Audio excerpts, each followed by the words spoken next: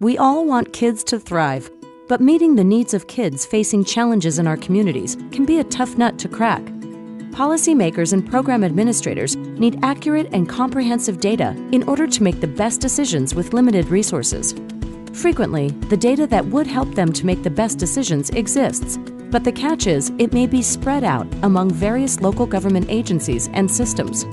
Imagine knowing that you could be helping improve children's lives but the data you need belongs to another agency that is working toward the same goals, but neither of you share data, so you're not getting access to the fuller big picture.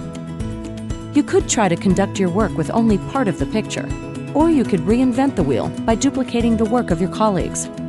But what if there was a way to securely share useful data so that everyone can focus on improving the lives of our children and families? The good news is, it exists. It's called IDS an integrated data system. IDS systems are being developed by more and more states and local communities seeking innovative solutions.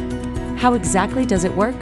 It's a partnership among agencies that share a set of ground rules and agreements.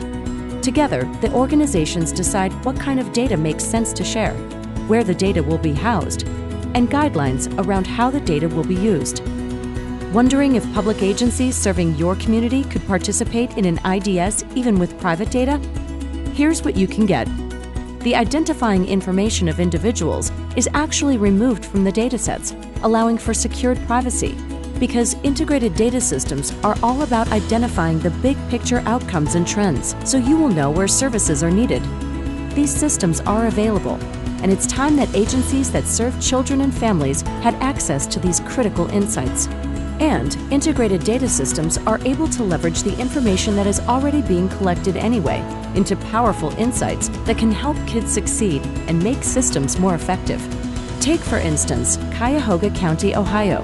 A group of public and private stakeholders used key IDS findings to develop a new programming and funding model to help homeless women who have children in the child welfare system. Or Wisconsin, where data drawn from an IDS showed that a child support enforcement policy was actually increasing the amount of time children spent in foster care. By applying IDS findings, the state is working on policy change that will help families to reunite more quickly.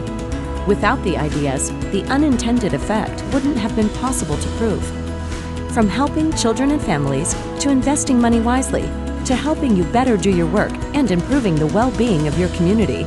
How can IDS help children and families in your community or state? For more information on how integrated data systems have improved policies and programs for children and where to find resources, visit the Annie E. Casey Foundation at aecf.org/ids.